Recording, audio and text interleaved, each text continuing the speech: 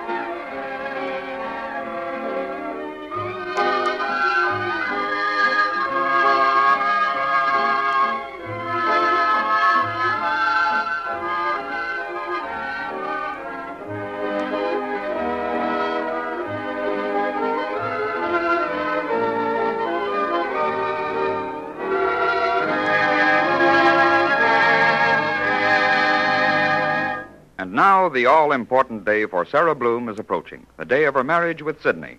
Mama and the two girls are out shopping for articles of Sarah's trousseau. And here they are in the department store district. Ma, I don't know what you want to come along for. I can take care of it myself. And as long as I'm going with her, it seems to me two ought to be enough. I'm going. What's the use of arguing? Don't you trust me? Of course I trust you. Don't you think I'm old enough to pick out my own trousseau? Oh, I guess we might just as well make up our minds at Ma's, don't we? That's the first smart thing that's been said all morning. You're my daughter, and you're going to be married. And you're going to get a trousseau, and I'm going along, even if they have to carry me on a stretcher. Stretcher, Ma. It's all right, stretcher. I don't see what you're making such a fuss about. Getting married is not so darn important. That's where you're wrong. Only three things happen to a girl. She gets born, she gets married, and she dies. And pretty soon you'll only have one left. Who told you that? Does somebody have to tell me everything? Can't I make up something myself? What am I, a dumb and deafy? The only reason I don't like to have you come, Mama, is that you're so old-fashioned. Yeah. Up to now, I helped you pick out every dress you ever wore. Now you're engaged, and suddenly you become smart. You don't need me. I picked out the dress you catched Sidney in, didn't I? That was a beautiful dress. The man wanted twenty nine fifty, and I made him give it to us for twenty-three dollars. And if you hadn't said how much you liked it the minute he showed it to us, I could have got it for maybe twenty-one. Now, if you go along this morning, please don't start that. Oh, you expect me to pay whatever the man asks? Oh, it's so cheap to start arguing about the price. If I can save two or three dollars on each garment, I don't mind being double cheap. What do you suppose the man thinks after you leave? What do I care what he thinks? It's his head. Let him think whatever he pleases with it. But don't you think that on an occasion like this, it's a bad time to try to save money? Darling, it's never a bad time to try and save money. I know. But still, after you leave, the man or girl that waits on you, they, they think that you can't afford anything good. You mean they think I'm a poker? Piker, Ma, I wish you'd be careful not to mispronounce words.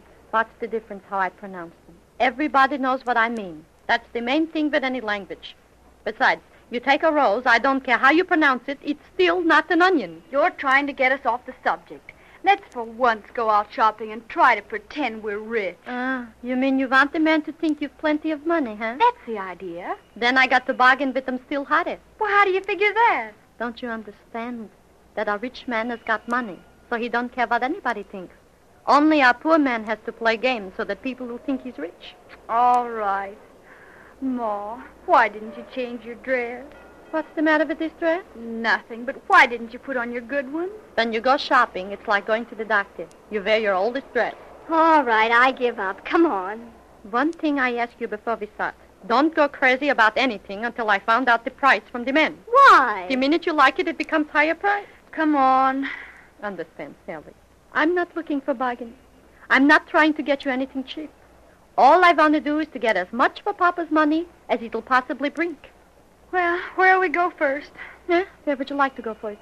We could start at Dunlap's. They have nice dresses. Do you want to get the dresses first? Oh, sure. We'll get the dresses first and then match them up. Mm-hmm. For once you got a good idea. But why do we start at Dunlap's? That's on the other side of town. Why can't we go right in the Boston store? It's closer. The Boston store never has anything pretty. Sarah, do you think the buyer at the Boston store's mad at the customers that he buys ugly dresses on purpose? Come on, here it is. We'll go in. Yetta, where's the dress department? Oh, I think it's on the fourth floor. We better ask the men. We'll find Ask it. the men, but humbly do. Mister, on what floor are the ladies' dresses? Uh, third floor, madam. The elevators are to the left. Thank oh, I thought it was on the fourth floor. Come on, let's get in here. There's a lot of people in here. Second floor, ladies' dresses. Oh, let's get off here. Come on, Ma. The man said the third floor. But the elevator man ought to know where they are. Let's go up to the third floor. Didn't you hear the floor stepper? Floor walker, Mother. Walk here. Lady, are you going to get off here? Uh, pardon me, is this floor the ladies' dress? Yes, ma'am. Well, the man downstairs said the third floor. Lady, would you please either get off or out of the door? You're tying up the whole elevator service. Is this store in business to run elevator service or to sell dresses? Lady, I'll have to ask you to get off or to step back in the car. Come on, Mother. Don't make a scene. Please, Ma, let's get All off. right, all right. May I help you, madam? We would like to look at some dresses. Uh, for yourself? No, for my daughter. Oh, that'll be the third floor in the missus department. Uh-huh. You see, I told you. But the man said. What difference does it make what the man said? If the dresses are on the third floor, you can't look at them on the Second floor, floor, no matter what the man said. Come on, here's an elevator. Boy, Third floor, Mrs. Dresses, children's dresses. come on, here's the floor. Uh, may I help you, ladies? Yeah, I would like to get some dresses for my daughter. Something nice, of good quality. But the price should be right, huh? And uh, what have you in mind? Well, we need some dresses suitable for our trousseau. My daughter Sally here is going to be married next month on the 8th. She'll be- Well, isn't that nice? Oh, sure, it's nice. She's getting a fine fella, too. In the uniform business. Maybe you heard of him, uh, Mr. Ma, Sidney. please. What's the matter? Is it a secret? But you don't have to tell everything to everybody you meet. Uh, step this way, please. We have so many lovely things. You could assist me a great deal by telling me where you intend spending your honeymoon. You're going abroad, I presume? She presumes. So many of our customers go abroad. Why, only yesterday we outfitted a young lady for an extended cruise in her yacht. I don't suppose you're going on a yacht? We'll let you in on a secret. She's not going on a yacht. It has been my experience when one goes to Europe, one requires at least five evening gowns for the boat trip. Couldn't you do it with four? But in that case, you would have to wear one gown twice. Mm, wouldn't that be terrible? Maybe the captain had stopped the boat and put you off. Mm. Oh, I suppose you could do it with four. But on all of my trips, and I make several every year, I have found that unless one has a different dress for every night, one feels so uncomfortable. Mm-hmm. Would you believe it? The last trip I made from Europe, I wore one dress the whole trip, day and night, and I didn't feel the slightest bit uncomfortable. When did you make a European trip, Ma? I didn't know you were ever on an ocean liner. Yetta, how do you think Pop and I got here from the old country? On a train? Oh. I had one dress, and believe me, I was the best dressed woman in the steerage. Uh, how many evening gowns will you require, madam? One. One dress for a European trip? Who's going on a European trip? I thought you said the young lady was going on her honeymoon to Europe. The honeymoon, we said. Europe you invented yourself. Ah, I'll show you something. Just a minute. Ma, why did you say only one evening dress? You know darn well I'm going to get more than one. From her, I don't think we're even going to get one. I can't stand her. She's too elegant. Now, here's a lovely little thing, something I brought back from Paris myself. It's a genuine importation. Importation, it looks more like taffeta. Uh, this is an exclusive model. You won't find another one of these in the United States. Mm-hmm. Maybe nobody else wants one. There isn't a single copy made of this dress. How much is it? A $175. A hundred. No back and no sleeves and a $175. How much would it be if it had a back and sleeves? You are paying for the cut. Look, it don't cost any more to cut it this way than to cut it some other way. Does the scissors know what it's doing? Would you like to slip it on, miss? Should I try it on, Ma? Yes, sure, sir. Try them. What does it cost? Step right in here. A $175, and she's snooty, too. Madam, that dress is a steal at that price. We really should get $250 for it. I don't see how the firm can sell it at this price. Yeah, maybe they're losing money. Well, here it is. What do you think, Ma?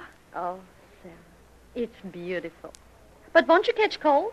It's $175 for a skirt. That's the latest thing. Of course, an evening wrap goes with the dress. Oh, for the same money? Oh, no, madam. The evening wrap is $325. It has a sable collar and is quite long, covers the dress completely. Pay $175 for a dress, and then you pay extra for something to cover it up. What's the matter? Are you ashamed of it? It's really a lovely little thing. Nothing elaborate, you understand. But for a little inexpensive model, it'll do very well. You can also wear it for a dinner dress. Hmm, thank you very much. I think one should have a few of these simple little things in one's wardrobe. It saves you good dresses. What's the matter? Ain't this a good dress? Well, I wouldn't consider this one of the finest. What I mean by a good dress is something that costs three or four hundred dollars. Of course, this little thing would do to wear around the house, wouldn't it?